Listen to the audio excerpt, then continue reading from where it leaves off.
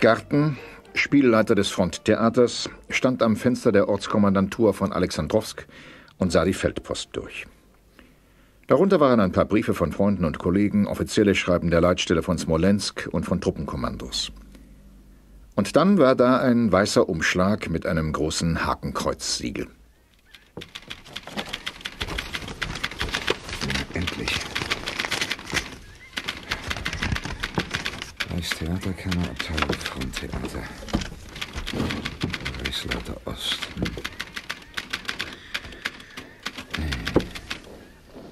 Ärger, Fritz? Ja, hier. Lies weiter.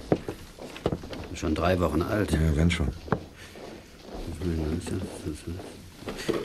Müssen Sie es schon meiner größeren Sachkenntnis und Übersicht überlassen, zu entscheiden, welche Programme für den deutschen Soldaten geeignet sind? Ich brauche Sie wohl nicht daran zu erinnern, dass Ihre Einmischung in meine Angelegenheiten. Naja, der, der Rest ist privat. Schon mal angeeckt, was? Bei Bereichsleiter Planitz persönlich? Planitz ist der einzige Mensch auf der Welt, den ich hasse. Den ich wirklich hasse. Ich könnte ihn mit meinen bloßen Händen erwürgen. Es gibt etwas, was ich ihm nie vergessen und verzeihen werde, Walter. Dein Arm? Ja. Planitz ist schuld daran, dass ich meinen Arm verloren habe. Den Arm und die Frau, die ich liebte. Aber eines Tages wird er mir dafür bezahlen, Walter, das schwöre ich dir. Ja, das kann ich verstehen, Fritz. Sag mal, was hast du ihm denn für ein Programm vorgeschlagen? Ja, Musik, Tanz, Mädchenbein, ein paar Kessel Lieder. Hm. Unsere Soldaten haben doch jahrelang im Dreck gelegen, die wollen keine Klassiker. ist doch klar. Aber Planitz will, dass wir ihnen den Faust vorspielen. Ja, genau, das will er. Einen verstümmelten Faust. In meinen Augen ist das der komplette Blödsinn.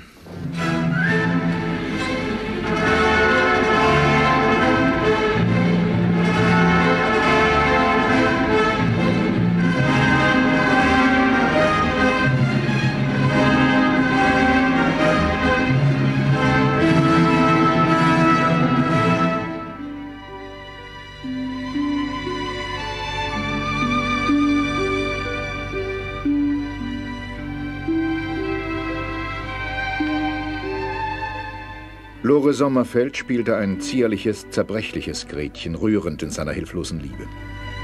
Keiner der 400 Soldaten im Saal dachte bei ihrem Anblick daran, dass er seit vielen Monaten keine Frau mehr gesehen hatte. Sogar die primitivsten Gemüter fühlten nichts als Mitleid mit ihr. Sie bekam viel Beifall für ihren Gretchen-Monolog. Noch stärker aber applaudierten die Lanzer, als die vollbusige Sonja als Hexe auf der Bühne erschien.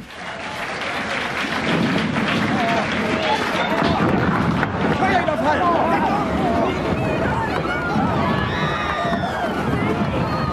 Dallas! Jupp, Dallas! Ja, hier! Ich bring die Sonja raus! Deckung! Sonja! Na los, jetzt aber Dalli! Hier entlang! Nur raus, kommen Sie! Kopf runter! Weiter! Wo wollen Sie denn mit mir? Weiter in den Keller! Das ist der einzige sichere Platz bei so einem Angriff.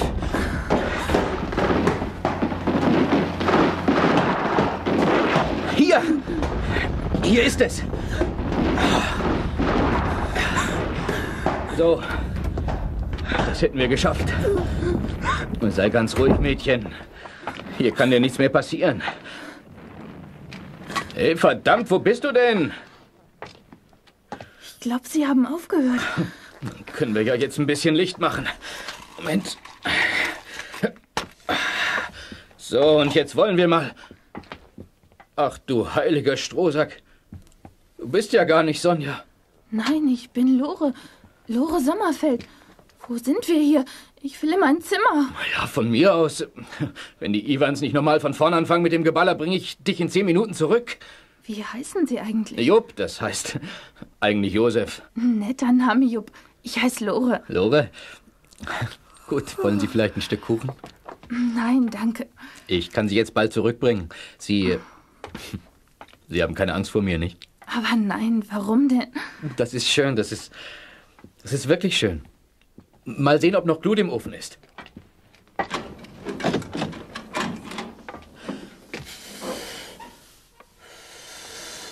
Ja, sehen Sie, es geht. Ich. Ach du meine Güte. Sie liegt in meinem Bett und ist eingeschlafen. Sowas.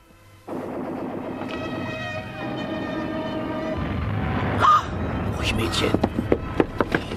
Sie schießen schon wieder. Keine Angst, Kindchen. Sind doch bloß unsere Flieger. Schnuckers. Unsere? Ja, unsere. Kannst ganz ruhig sein. Sie sind ein furchtbar lieber Kerl, Jupp. Kommen Sie nur darauf.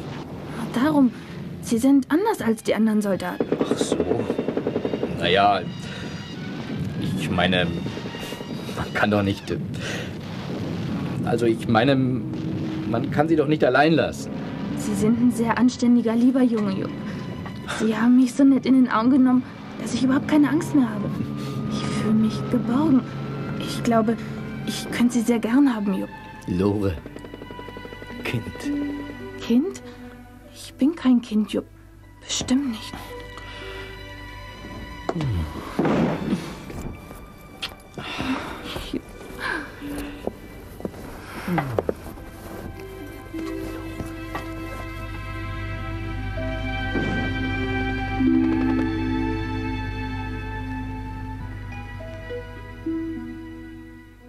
Stabsarzt Dr. Sorensen und Fritz Garten saßen am nächsten Morgen am Frühstückstisch, als Lore in die Offiziersmesse kam. Lore, was ist denn mit dir passiert? Wo warst du die Nacht über? Wo ist Jupp, Dr. Sorensen? Er ist heimlich von mir weggegangen, irgendwann heute Morgen. Job, wer ist Job? Ein Soldat, ein. Er ist Obergefreiter, glaube ich. Kindchen, es tut mir leid. Die Kompanie ist abgerückt. Sie wurde heute Nacht alarmiert und an die Front geworfen. An die Front geworfen? Oh, dann wollte er mir wohl den Abschied ersparen. Na ja, heul nur, Kleines.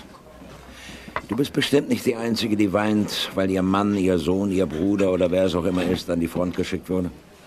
Ja, da haben Sie recht, Dr. Sorensen.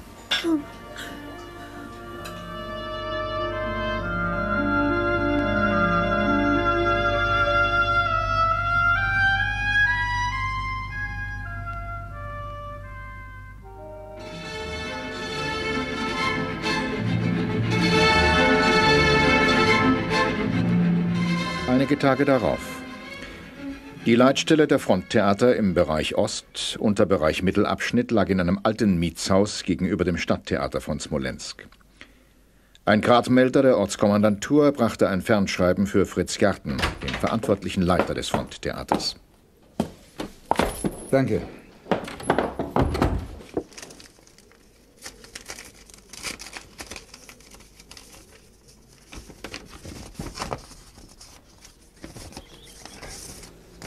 Walter, aus Berlin, von Planitz. Was will der denn? Sollen wir jetzt auch noch die Jungfrau von Orleans für die Lanzer spielen? Im Gegenteil, hier, lies. Sofort absetzen, Faustaufführung. Stopp. Vorbereitet. Kabarettprogramm. Stopp. Nicht geeignetes Personal nach Berlin zurücksenden. Stopp. Truppe wird von hier aus aufgefüllt. Planitz. Mensch, dass wir das noch erleben. Weißt du, was das bedeutet, Walter? Wir können hier vor allem mal gründlich ausmisten. Nur dich und Lore behalte ich hier. Und Äh, Und, und äh, Sonja. Sonja? Aber Walter... Tu mir den Gefallen, Fritz. Sie, sie kann doch wirklich was. Ja, ihr Können steht ja auch gar nicht zur Debatte. Äh, Sie braucht jemanden, der auf sie aufpasst. Walter Meier, der Schutzpatron. Na schön, Walter. Das ist viel für Sie übrig, nicht? Na ja. Also gut, wir vier bleiben. Die anderen schicke ich morgen dem dicken Planitz zurück. Der wird sich freuen. Sag mal, was hat es eigentlich gegeben zwischen dir und Planitz? Ich meine, oh, das ist eine ganz alltägliche Geschichte, Walter. Wenigstens der Anfang. Zwei Männer lieben eine Frau. Kurt Planitz und ich waren vor zehn Jahren zusammen in Wismar am Theater. was denn? Planitz war Schauspieler? Naja, er stand jedenfalls auf der Bühne. Wahrscheinlich hielt er das Theater für ein ideales Jagdgebiet auf Frauen. Er war damals hinter einer blutjungen Kollegin her. Miriam Bergner hieß sie. Jüdin. Sieh mal einer an. Der Herr Parteigenosse Planitz. Wenn das der Führer wüsste. Ich hatte Miriam eigentlich nur vor ihm in Schutz nehmen wollen. Aber du weißt ja, wie sowas dann weitergehen kann. Verstehe. Planitz hat uns beiden nie verzeihen können. Nicht glücklich war. Zuerst konnte er nichts machen, aber dann kam 1933. Machtergreifung. Planitz schaltete sofort, ich nicht. Er hat Spitzel auf Miriam angesetzt? Ja. In letzter Minute konnte sie fliehen. Sie ging nach Posen zurück. Mir wollte Planitz ein Verfahren anhängen, aber ich konnte mich noch gerade so rausschwindeln. Aber? Mhm. Es hat uns nichts genützt. Ein Planitz gibt nicht auf. Sechs Jahre später hat er dann Miriam ermordet. Mich konnte er nur zum Krüppel machen. Aber eines Tages werde ich ihn stellen. Den Herrn Planitz.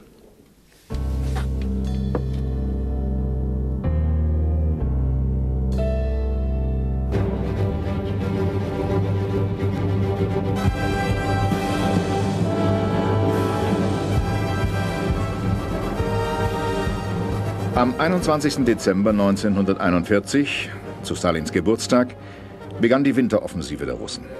Seitdem trafen pausenlos Verwundete und Erfrorene in Dabuscha ein. Stabsarzt Sorensen operierte in der großen Halle, in der vor sechs Wochen Fritz Gartens Theatergruppe den verunglückten Faust gespielt hatte. Der nächste Herr. War nicht als Scherz gemeint, Bertolt. Komm mir wirklich vor wie ein Fließbandarbeiter. Hm. Das Bein muss ab. Wie viel Pervitin futtern Sie eigentlich so pro Tag? Ja, ich hab's aufgegeben. Auch das nützt nichts mehr. Säge.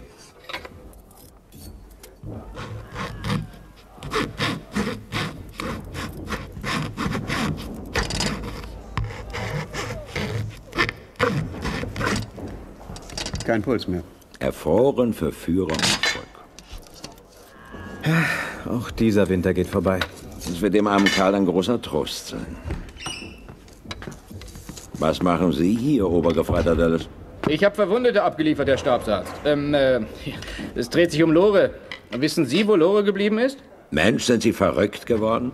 Ich habe in den letzten Wochen viele Mädchennamen gehört von sterbenden Verwundeten. Und da kommen Sie her und gehen mir mit solchen Fragen auf die Nerven? Ein kerngesunder Landsach? Raus, Mensch, hauen Sie ab! Ich gehe ja schon, ich gehe ja schon. Hey, Sani, hast du Lore gesehen? Du kennst sie doch, die vom Theater. Was weiß ich, wo die jetzt rumspringt? Aber hör mal, wenn du sie gesehen hast. Mensch, bin ich ein Auskunftsbüro? Hast wohl Russlandkoller, hä?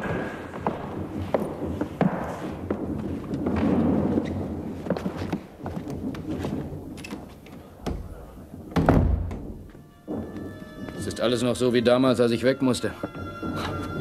Da liegt ja mein Abschiedsbrief. Eine Haarspange von ihr. Irgendwann, irgendwo werde ich dir die Spange wiedergeben, Lore. Und, und wenn ich das ganze verdammte Russland absuchen muss.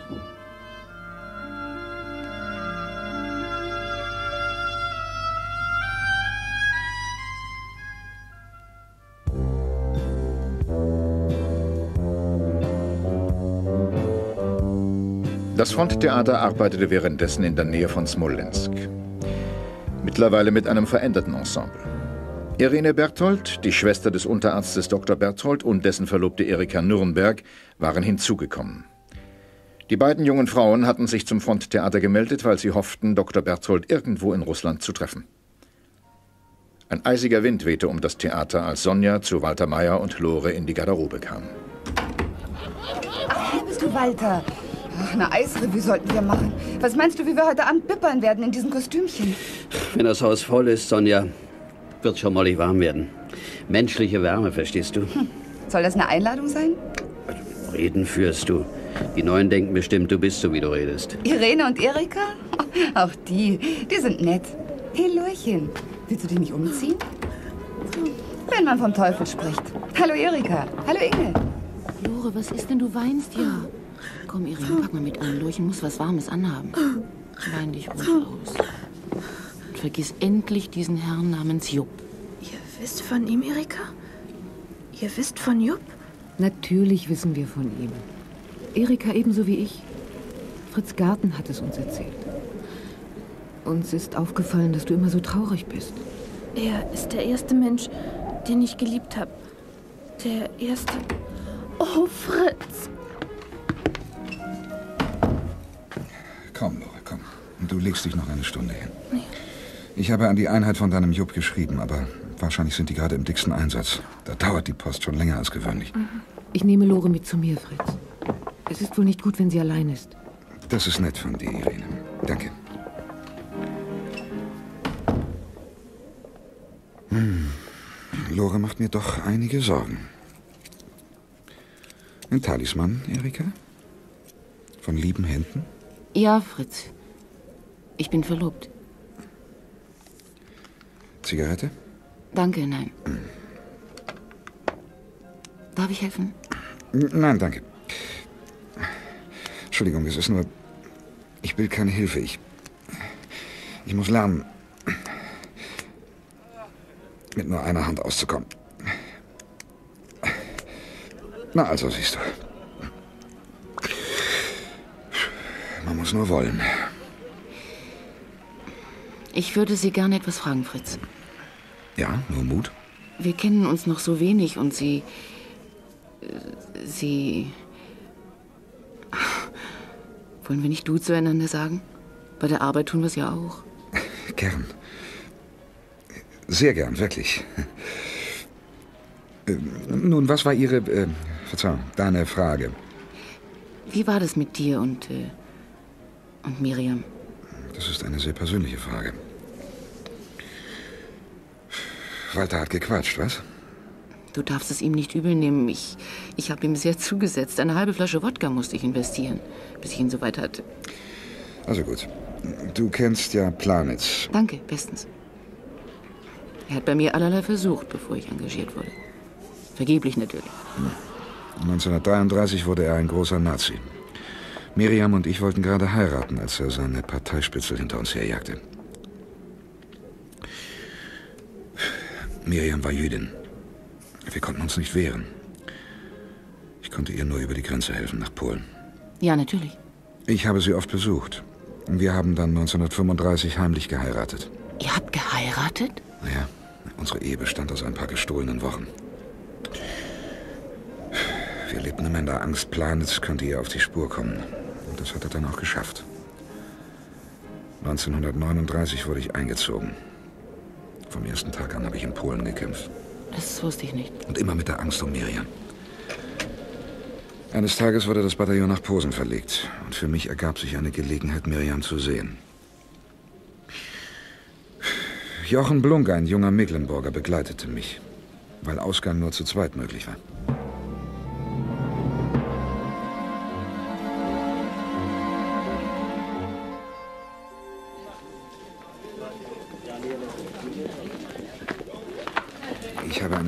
Riesenangst, dass Planitz irgendeine Schweinerei gegen meine Frau ausfängt, Jochen. Wohnt sie hier? In diesem Mietshaus? Ja, genau, im zweiten Stock. Komm.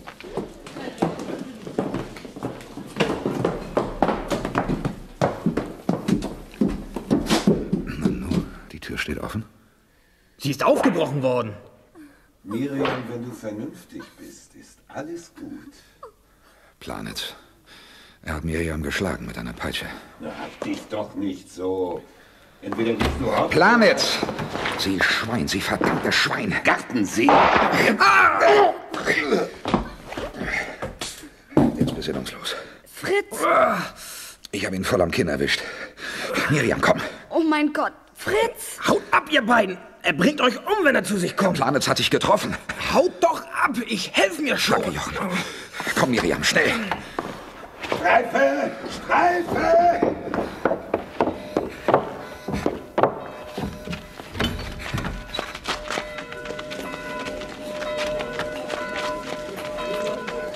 Hier rein, Miriam. In die Feldscheune.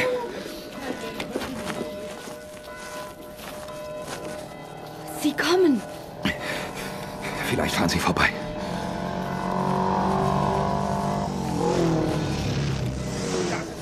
Vorsicht! Sie sind bewaffnet. Nehmen Sie die Handgranaten. Na los doch! Haben Sie nicht gehört? Die Handgranaten!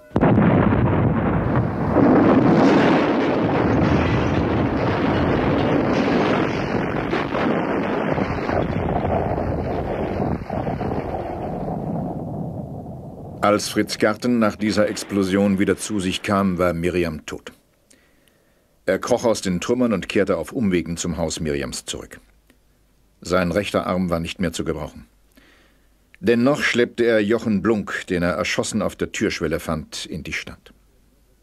Partisanen, erklärte er dem Posten des Luftwaffenlazaretts und zeigte auf seinen toten Kameraden und seinen verletzten Arm. Ich brauche einen Arzt. Schnell.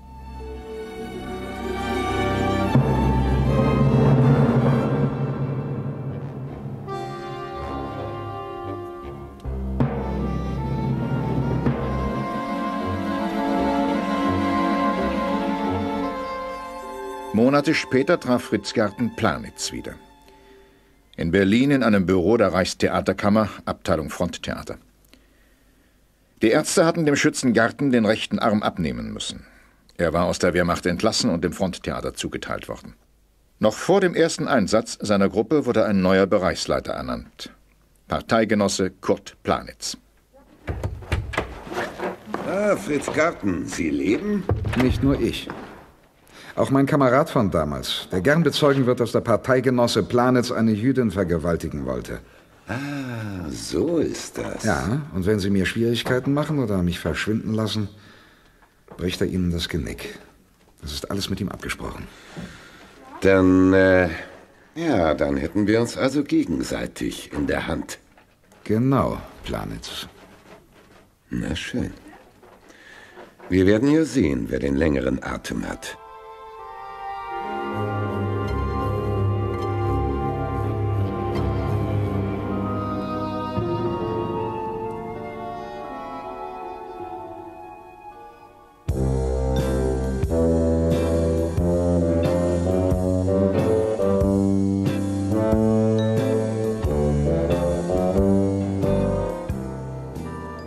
Fronttheater hatte das Programm umgestellt.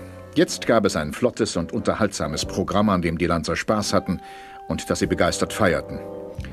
Alles schien in Ordnung zu sein, doch dann brach Lore plötzlich mitten in der Vorstellung zusammen und musste von der Bühne getragen werden. Während das Programm weiterging, kümmerte sich Irene um sie. Na, Lore, geht es wieder? Ja, danke, Irene. War doch selbstverständlich. Morgen werde ich wieder umfallen und übermorgen und. Oh, Irene. Willst du damit sagen, dass du ein Kind bekommst? Ja. Und das Schlimmste, ich weiß nicht, wo Job ist. Weiß nicht, ob ich ihn je wiedersehen werde. Aber ein Kind braucht doch einen Vater. Wann hast du es gemerkt? Vor einer Woche. Was soll ich denn nur machen? Es wird sich alles finden. Du fährst zu deinen Eltern nach Deutschland, dort kann das Kind kommen. Das geht nicht. Du kennst meinen Vater nicht, er ist Beamter. Bei ihm muss alles ordentlich und korrekt sein. Gespitzte Bleistifte, die Bügel falten. Ach, sein ganzes Leben. Versprich mir, dass du keinem Menschen etwas davon sagst. Ja, ja, ich werde es für mich behalten. Aber irgendwann wirst du es sagen müssen. Ich kann nicht. Du wirst sehen, es ist alles viel einfacher, als du glaubst. Du fährst nach Deutschland zurück und wenn du willst, kannst du dein Kind ja in der Klinik zur Welt bringen. Wenn es ein Junge ist, wird er bestimmt genauso wie Jupp. Ach, Jupp. Ich weiß ja nicht mal mehr, wie er aussieht.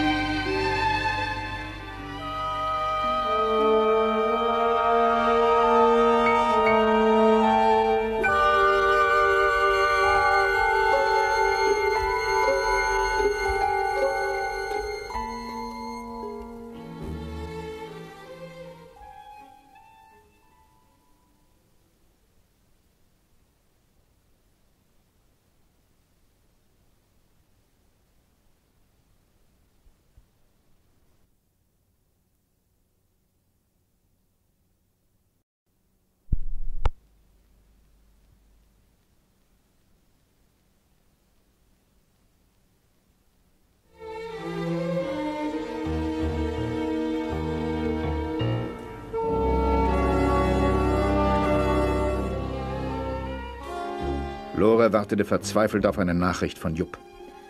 Warum antwortete er nicht auf den Brief, den Fritz Garten schon vor Wochen an seine Einheit in Nabuscha geschrieben hatte? Als Lore schon glaubte, dass er verloren gegangen war, kam ein Bote zu ihr in die Garderobe. Von nebenan, aus Gartens Zimmer, klang das fröhliche Lachen der Kollegen zu ihr herüber. Post für Sie, Lore. Post? Oh, danke. Gartensbrief. Er ist zurückgekommen. Jemand hat etwas draufgeschrieben. Liebes Fräulein Lore, Herr Garten teilte mir mit, dass Sie so sehr auf eine Nachricht von Ihrem Jupp warten. Aber leider ist er seit gestern vermisst und wir müssen wohl damit rechnen. Oh. Jupp. Oh, mein Jupp. Seit gestern. Wochen war der Brief unterwegs und nun ist er zu spät gekommen. Um einen Tag zu spät. Einen Tag.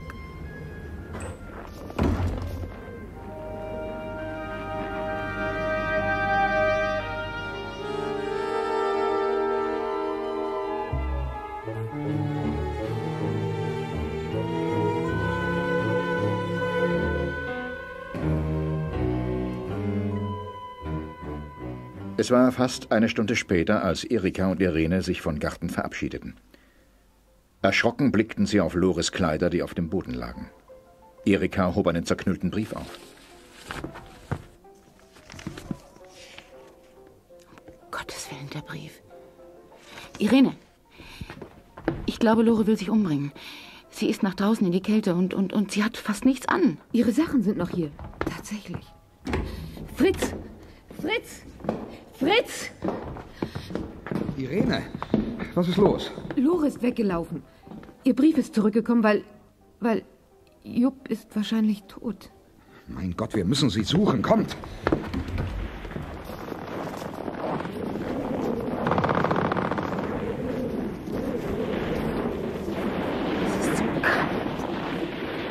Lore könnte zum Fluss gelaufen sein. Hoffen wir, dass kein Loch im Eis ist.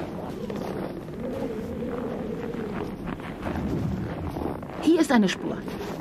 Lore ist hier entlang gelaufen. Zum Fluss. Tatsächlich. Schneller! Vielleicht ist es noch nicht zu spät.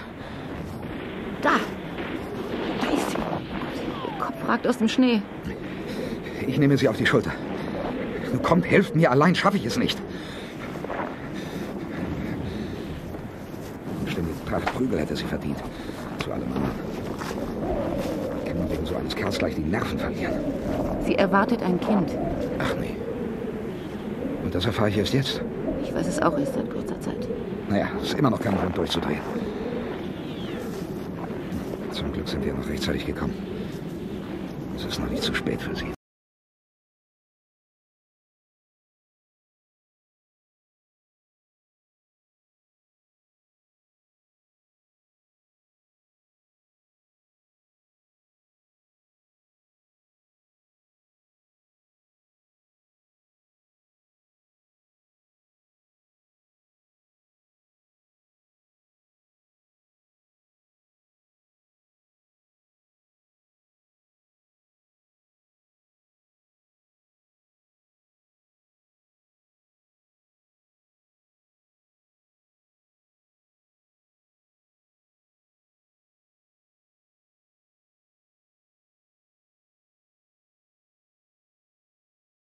Vielleicht lebt er gar nicht mehr. Oder er ist den Russen in die Hände gefallen. Du hast wirklich nichts gehört? Nein. Er hat dir einfach sitzen lassen. Also, wenn der Kerl mir unter die Finger kommen sollte, äh, wie hieß er eigentlich? Das ist es ja eben. Ich kenne nur seinen Vornamen. Jupp. Ich weiß nur, dass er Jupp heißt. Na, na, sehen man nicht leicht, Kindchen. Irgendwann wird er schon heiraten. Und wenn ich das bin.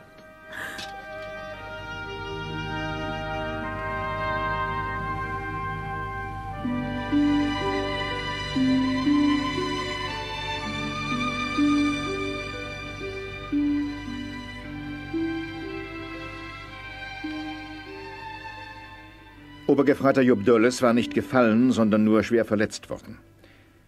Nach einem langen Lazarettaufenthalt kehrte er nach Deutschland zurück, um sich hier einige Tage zu erholen. Er nutzte die Gelegenheit, seine Suche nach Lore fortzusetzen, und er ging zur Reichskulturkammer. Auf einer der vielen Türen stand Fronttheater, Einsatzbereich Ost, Parteigenosse Kurt Planitz. Sie wünschen? Ich bin Obergefreiter Dölles. Ich wollte. Ja, äh, was wollen Sie? Ich habe nicht den ganzen Tag Zeit. Ich habe vor ungefähr sechs Wochen einen Brief geschrieben, wegen einer Schauspielerin. Sie heißt Lore. Und da wollte ich. Ja, ich muss in der Kartei nachsehen. Dülles. Dülles. Dülles. Nein, haben wir nicht. Aber der Brief muss da sein. Können Sie sich nicht erinnern? Das war vor meiner Zeit. Ich bin erst seit drei Wochen hier. Tut mir leid. Könnte ich den Herrn Bereichsleiter sprechen? Ausgeschlossen. Wir haben hier mehr zu tun, ja? Tutchen, hier sind die neuen Einsatzbefehle für unsere Theatergruppen. Nanu, was wollen Sie denn hier? Äh, Sie sind der Herr Bereichsleiter? Ich hatte Ihnen einen Brief geschrieben wegen meiner Lore, weil ich doch Ihre Adresse nicht weiß und ich wollte. Ach, Sie sind der Mann, der uns geschrieben hat. Ach, Sie haben meinen Brief bekommen? Wenn Sie mir bitte die Adresse geben könnten. Hören Sie zu, mein Lieber. Wir haben hier Wichtigeres zu tun, als uns um Ihre Liebschaften zu kümmern. Wir sind schließlich kein Vermittlungsbüro. Aber Herr Bereichsleiter, ich. Ich gehe zu Tisch, Trutsch. Ja, aber. Sie wollen mir Lores Adresse nicht geben? Ich will sie doch heiraten. Sie müssen mir sagen, wo ich Lore erreichen kann. Gar nichts muss ich. Machen Sie, dass Sie rauskommen oder ich lasse Sie einsperren. Erst sagen Sie mir, wo Lore zurzeit ist. Rufen Sie die Wache, Trutchen. Ich werde dafür sorgen, dass Sie... Gar nichts wirst du, mein Junge. Was machen Sie denn da? Der Telefonapparat. So einen tapferen Heimatkrieger wie dich wollte ich schon lange mal zwischen die Pfoten kriegen. Wache! Hier bleiben! Puppe, dein Chef braucht dich später noch zum Verbinden. Hören Sie doch mal auf. Aua. Lassen Sie das aus. So, das reicht. Bestellen Sie Ihrem Chef einen schönen Gruß, wenn er wieder aufwacht. Und wenn er sich noch einmal einfallen lässt, einen Lanzer zu verschaukeln, dann drehe ich ihm den Kopf ab, sodass er die Krawatte anschließend hinten bindet.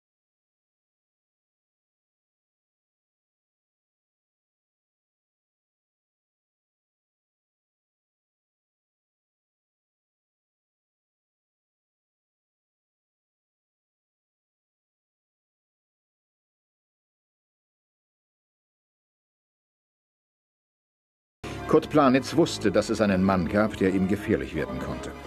Fritz Garten. Seine Hoffnung, dass er an der Front in Russland bei einem Kampf verunglücken würde, hatte sich nicht erfüllt.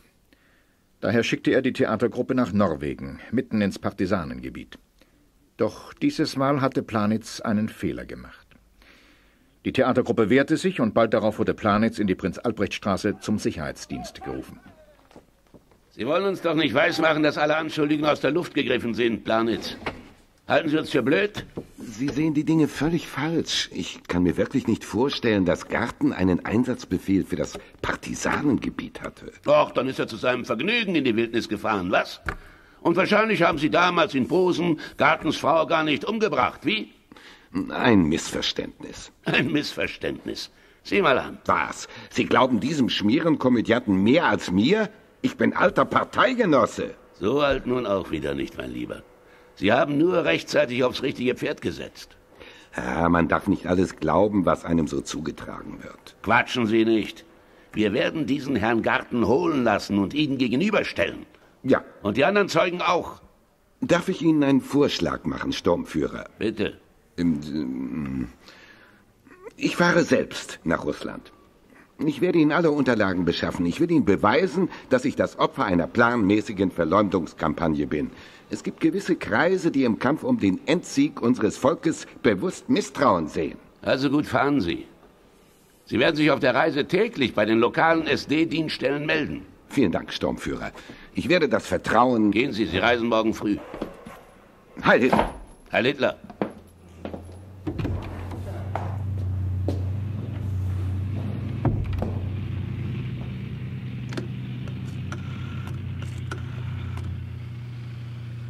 Beschatten lassen. Setzen Sie Planitz einen Mann auf die Fersen.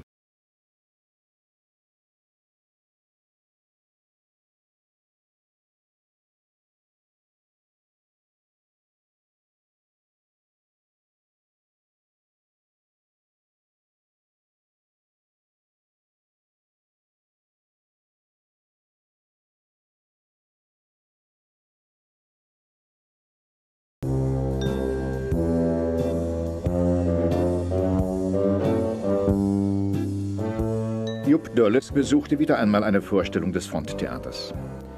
Mit mäßigem Interesse verfolgte er die Darbietungen, bis Walter Mayer auf die Bühne kam und seine Zauberkünste vorführte. Und jetzt komme ich zum Höhepunkt meiner Darbietung. Zum Zersegen einer lebenden Jungfrau. Das ist gut, Dallas. Mach Platz für uns, Jungs. Danke. Auf, Mensch. Du dreh nicht leicht durch. An die Mädchen kommst du nicht ran. Die kenne ich doch. Die war doch damals dabei, als Lore... Ich könnte wetten. Lore! Lore! Bist du verrückt? Bleib hier! Lore, lass mich los! Lass mich los! Jupp, du kannst doch nicht. Lasst mich! Lass den Döllers los! Lore! Leutnant Kramer, helfen Sie mir los! Lassen ihr Idioten! Lassen Sie den Mann los! Kommen Sie, Döllers. Wir gehen hinter die Bühne.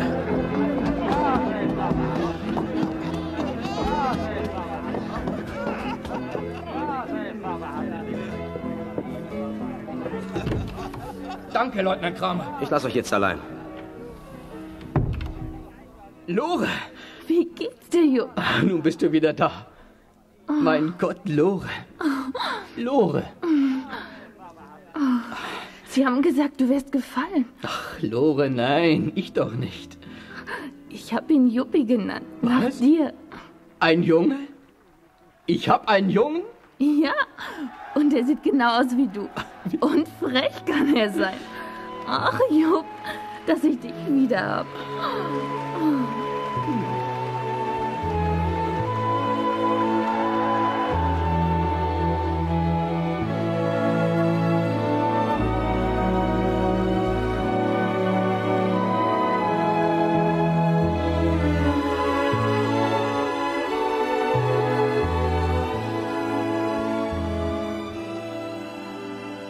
Leutnant Kramer und Irene Berthold trafen sich draußen beim Bus der Theatergruppe.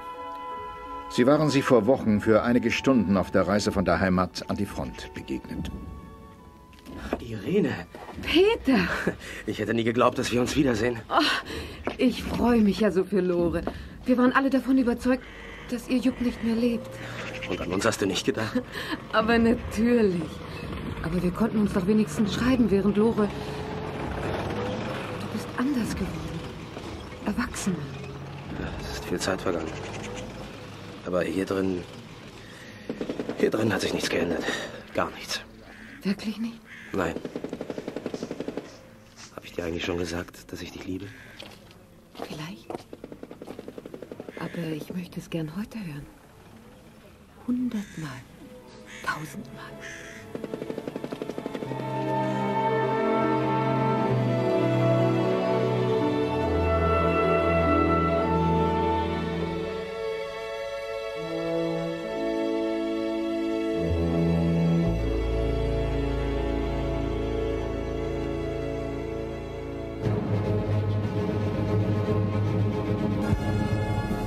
Wenige Tage darauf begann der Großangriff der Russen. Die Theatergruppe versuchte, sich mit ihrem Bus abzusetzen. Doch sie war nicht schnell genug. Sie geriet in eine Zangenbewegung der Russen und sah sich plötzlich eingeschlossen. Irgendwo vor ihr musste jedoch noch eine Lücke sein. Leutnant Kramer begleitete das Fronttheater mit seiner Kompanie, zu der auch Jupp Dölles gehörte. In einem Dorf hielt der Bus, während die Soldaten die Häuser durchsuchten.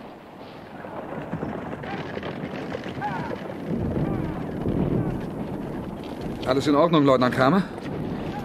Sieht so aus. Einen komischen Vogel haben wir da gefunden. Hat eine braune Uniform an.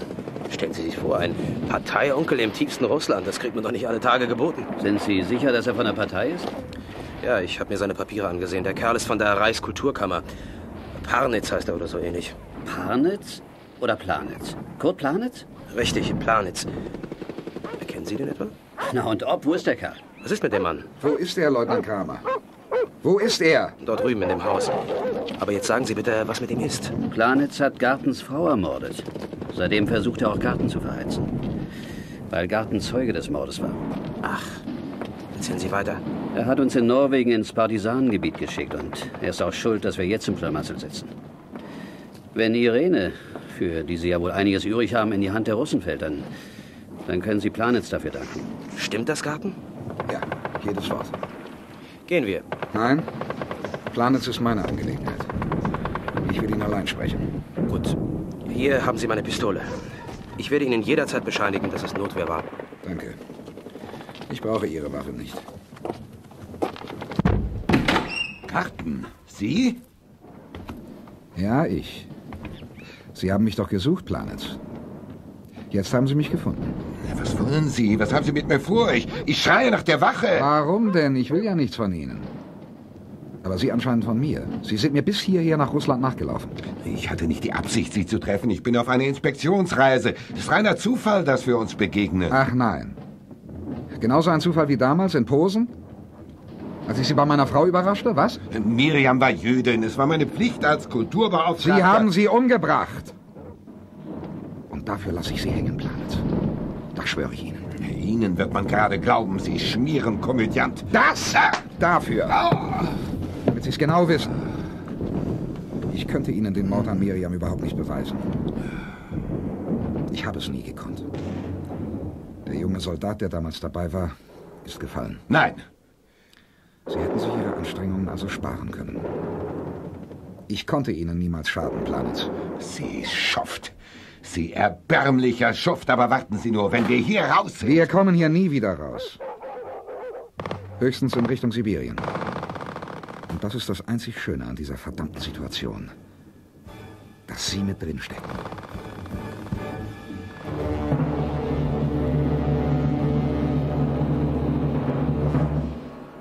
Nach diesem Gespräch mit Planitz kehrte Garten in das Steinhaus zurück, in dem sich die anderen vom Fronttheater mittlerweile aufhielten. Alle waren sich dessen bewusst, dass sie kaum noch hoffen konnten, den Russen lebend entkommen zu können. Plötzlich schrillte eine Trillerpfeife. Die Russen greifen an. Von da drüben kommen sie. Entweder die Russen oder Leutnant Kramer mit seinen Leuten. Kannst du dir vorstellen, Walter, wie das ist, mir keine Angst mehr zu haben? Nein, Sonja, kann ich nicht. Mir ist, als ob dieser Scheißkrieg schon 100 Jahre alt wäre. Ich möchte jetzt an einem schönen See liegen. Gleich am Ufer müsste unser Haus stehen. Nur ein ganz kleines Haus. Hör auf! Hör doch auf mit dem Unsinn, Sonja. Erika. Komm, nicht durchdrehen, Kleines. Ich kann nicht mehr, Fritz. Ich kann einfach nicht mehr. Wenn wir hier wieder rauskommen, dann sorge ich dafür, dass du aus der Truppe entlassen wirst. Und dann ist der Krieg für dich vorbei. Und du? Ich bleibe dabei. Dann bleibe ich auch. Ich will nicht mehr ohne dich leben, hörst du? Nie mehr. Und was ist mit Dr. Berthold? Ich bin nicht mehr verlobt. Ich, ich weiß jetzt, zu wem ich gehöre. Ich wollte dich nicht lieben. Ich habe mich dagegen gewehrt, aber es ist stärker als ich. Ich liebe dich. Achtung, sie kommen. Tatsächlich. Da drüben am Waldrand. Es sind 30. Nein, wenigstens 40. Sind es Russen? Noch nicht zu erkennen. Ich mach mal das Fenster auf.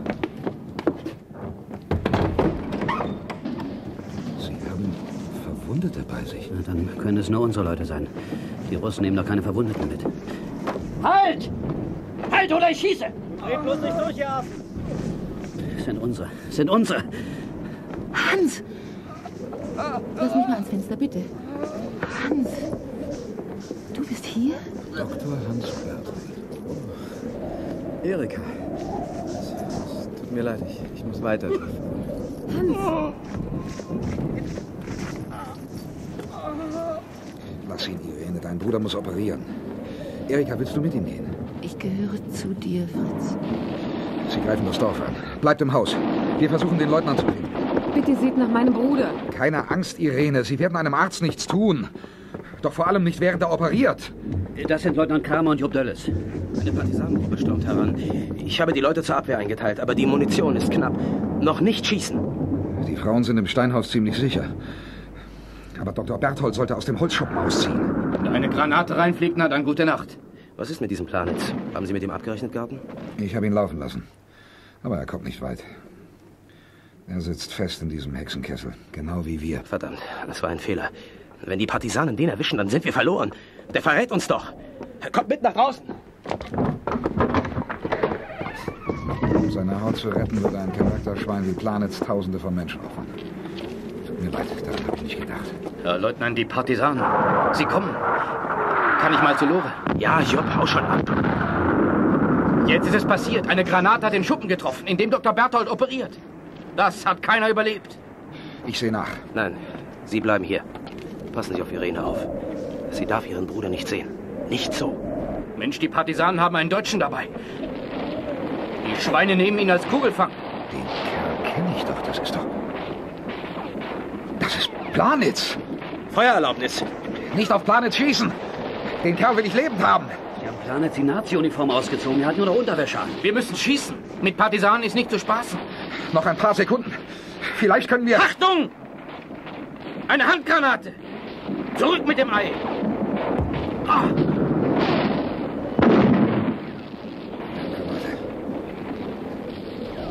Sie ist direkt vor dem Kopf von Planitz explodiert. Noch leben wir. Noch habt ihr uns nicht. Sie ziehen sich zurück. Sie können es sich leisten. Wozu sollten Sie ein Risiko eingehen? Wir können ihn nicht entwischen.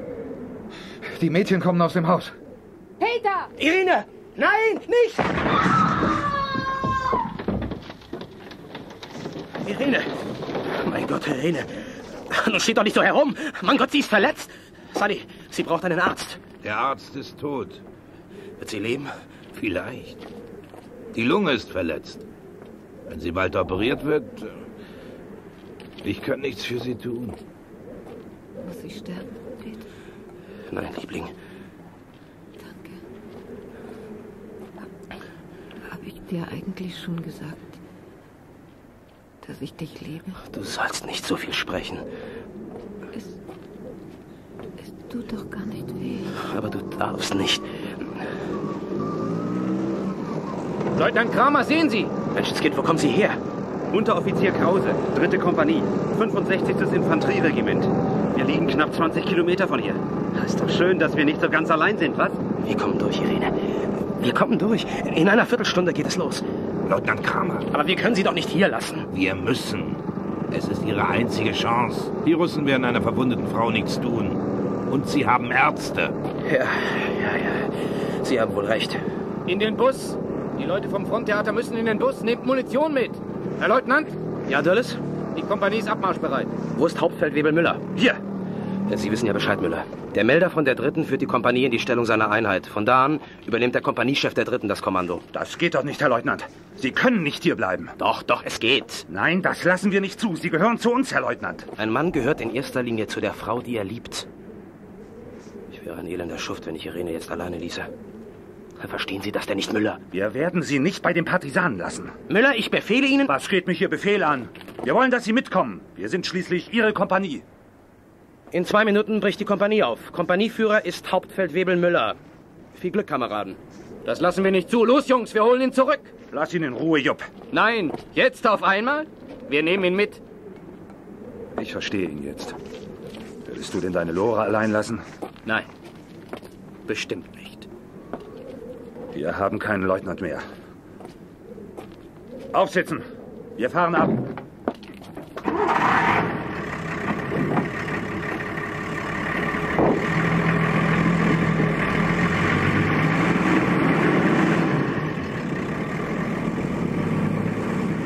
Die Kompanie rückte ab.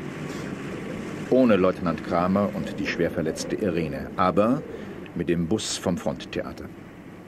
Für sie alle wurde es eine Fahrt ins Leben. Von Leutnant Kramer und Irene aber hat man nie wieder etwas gehört.